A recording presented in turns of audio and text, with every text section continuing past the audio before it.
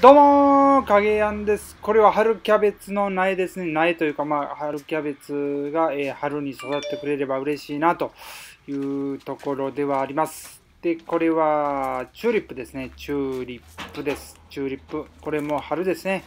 んで、えーこれが、えーいちごですね。いちご。これも春なんですね。だからちょっとこう、えー楽しみがもうちょっと先と、楽しみというか、ほんまにちゃんと育ってほしいなというふうに考えておりますけども。うん、で、えーこれが、これはね、えー早いかなと思います。ちゃんと育てば、この分け木と、え白菜ですね。これはちゃんと育てば、もうちょっとしたら育つんかなと思っております。ということで今日は以上です。ありがとうございます。